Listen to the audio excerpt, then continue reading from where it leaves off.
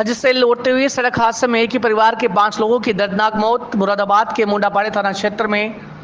सड़क हादसे में रामपुर के पिता पुत्रों समेत पाँच की मौत हो गई। रामपुर ज़िले के थाना सवार क्षेत्र के मुकरपुर गाँव निवासी दंपति हज पर गए थे। हजियों को सवार से दिल्ली लेने उनके परिवार के सदस्य गए हुए थे। दिल्ली से वापस कार से रामपुर अपने गाँव मुकरपुर आ रहे थे, जहाँ मुरादाबाद रामपुर के बीच में हाईवे पर मुंडापाड़े थाना क्षेत्र के पास उनकी कार दुर्घटनाग्रस्त हो गई, जिससे मुकम्पर निवासी पिता हाजी अशरफ, उनके बेटे आरिफ नक्से इंतकाब और कार चालक एहसान की मौत हो गई।